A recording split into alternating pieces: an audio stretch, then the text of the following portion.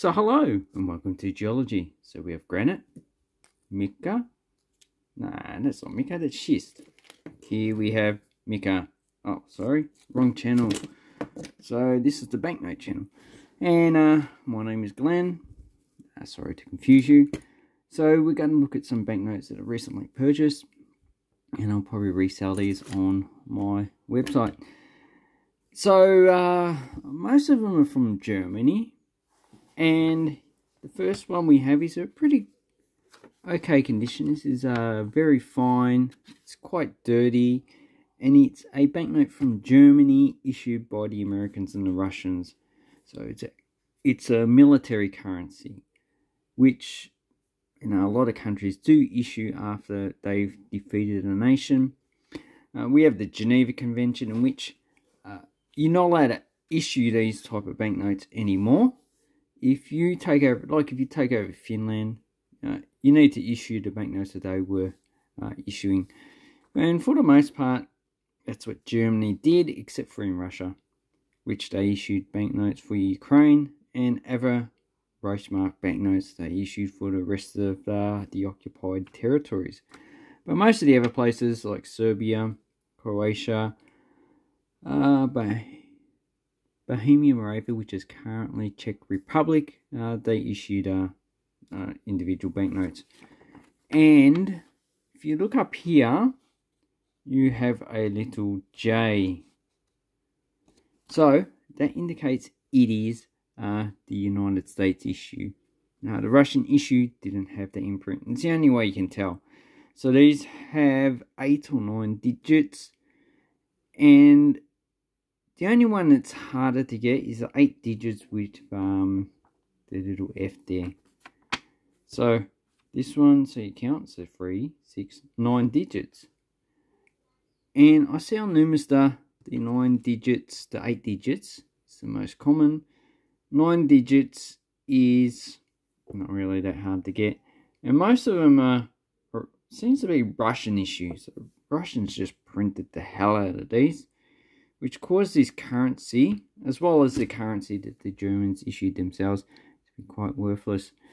And these, this design is based on the United States currency. So the Russians just adopted it. I doubt that the Russians would have put that much emphasis on currency. But they did issue, Russians did issue uh, military currency, I think for Hungary and Czechoslovakia. And they were just preliminary notes because those countries also issued their own banknotes uh, with different designs. So this was a confusing time. Lots of different banknotes for the same currency. So, yeah, that one's probably worth about $10, $20. Yeah, quite a nice banknote. Okay, then, uh, oh, we'll keep on with the German banknotes.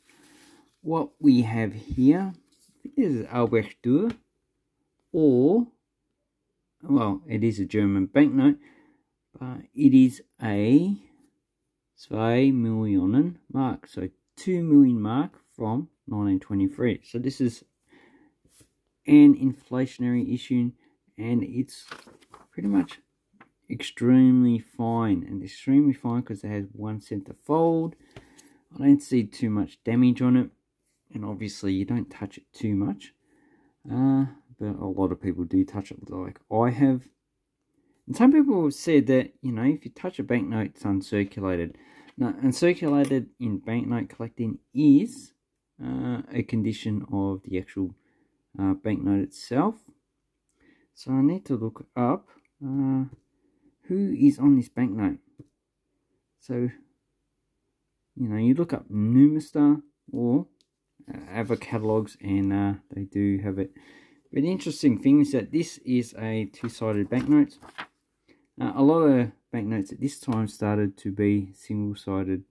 So we have a prefix E and we have the uh, the six numbers. So if you look at a lot of the banknotes, you can see a lot of them are just uh, one-sided. Uh, some of them are still two-sided. And we're looking at this banknote here. So it's 160 by 88 millimeters. 2 million mark. And here they have a picture of the, the watermark, which is on this, this side here. Actually, it's all the way through the banknote. And, well, they do have an error in the way they pronounce or spell million, but it doesn't give any information on who is actually on this banknote. And I think this is a merchant painted by Albrecht Dürer. And uh, this one's probably worth, because of the high condition, probably 20 to $30. So, but this banknote is one of the harder issues to get for the German hyperinflationary, especially in this high grade banknote that you can see here. Okay, now the third banknote is actually quite large. Uh, if I, I get a $20 out of my uh, wallet, maybe I should check these as well to see if any of them are good. So $20 banknote. And as you can see, the size of it is uh, quite different. And we're looking at the signatures. No, they're both big and small. What we need is uh, two big signatures. The serial numbers. Yeah. Two million. And 800,000. Yeah, not really worth worth $20. But this is a banknote that was issued uh, so it is a 1000 Korun yeah 1000 uh, and this was issued in uh, 1945 it's not dated but in 1945 41,000 as you can see they issued they pretty much this is what I was talking about in another video. Confusion at the end of World War II. So this is a Russian banknote issued by the Russians. Also issued in 1945, dated 1944. They issued this one. So this was, I think, printed in the UK. Then there was another one issued 1945. And they also had a provisional issue uh, printed on a previous banknote. So if we so this was the uh, Slovenian bank, no, Slovakian banknote. Got Slovenia, Slovakia. Wish they'd actually get their names right. So these are high value banknotes. So they are a bit harder to get. And here it's got $33. Uh, but as you can see, this one's graded 66, so looks like a, a specimen banknote. And no, so this one you're probably paying eh, probably at least 50 to, to $100 on. And what is on this banknote doesn't, it obviously hasn't been, uh,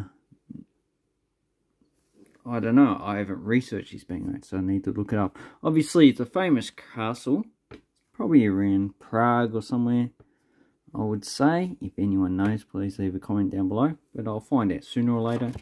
On this side, we have the guy's name, Jurs Podrad. And he's probably a king of Bohemia at one time or another. And the watermark is a woman. So, yeah, that's a nice 1945 banknote. And I think these are, a bit hard to get. So I'm not too sure if I'm going to keep this one. Or if I'll just uh, whack it onto uh, my website. Then we have, well, one of my, no, I think this is my second, um, second uh, markka from Finland, or the second currency, as the president, Paasikivi. And this replaced the first markka, which was a 1000 markka banknote. And we have the coat of arms behind his head. So this is a nice design banknote. And in 1990, they did replace this with a coin, and then they issued a 20 markka to uh, make up for the loss of this denomination. So it's 1963, and there's a whole different signature series for uh, this banknote. This is lit A. You also get ones without that. And on the back, we just have the coat of arms. And these ones are probably worth about uh, 10 to $20 in themselves. So, nice banknote. And the last one we have is a Polish banknote. So this is uh, the mark of the Polish Republic. So if we look at Numista, we can see the smallest value they issued was a half mark. And then we got two different issues. So we've got the ones issued by the German, Austrian uh, government. And the interesting thing is that the Austrians, they did have a substantial Polish population. And they're the ones that ran the Austrian occupied Russian theatre. And uh, as you can see, there's three different types of uh, one mark issues for this is the standard one but the inflated currency as you can see the 10 mark we only have two different issues so the 1919 and if we look at the actual denomination so these were replaced by the zloty in uh, 1924 and here we have some values. Obviously, there's no print figures. Uh, so you can go down, you can see how much people are actually selling them for. Uh, so these cost probably about 20 to $30. And if you want to scroll and see the other denominations, uh, so 1920s, they started to get hyperinflated. So we went from 5, 10,000 mark, 50, 100,000, 250, and the highest denomination that they issued oops is uh, the 100,000 mark. Uh, but it seems to be scarce. And even the 10 million that we see. Not 100,000 100 million. 10 million seems to be quite a hard banknote to get. So uh, what features do we have? Well these banknotes this one has Mr. Kosciuszko. And yes the Australian mountain, Mount Kosciuszko, is named after this guy. He was uh, a prominent figure in the Polish-Lithuanian Commonwealth, and that was dismembered by Russia, Austria, and Germany back in the 1700s. Here we have the eagle of Poland, and like Germany, uh, there's no one style of eagle. Uh, there probably is officially on the coat of arms, but different denominations, also on the coins. They just issue different variations of the actual Polish uh, eagle, which, yeah, they probably, I would say they, uh, did they adopt from the Germans at the time? The German marks didn't really have many variations. It's only in the Federal Republic of Germany uh, they had the most. And this is all in Polish, 1919.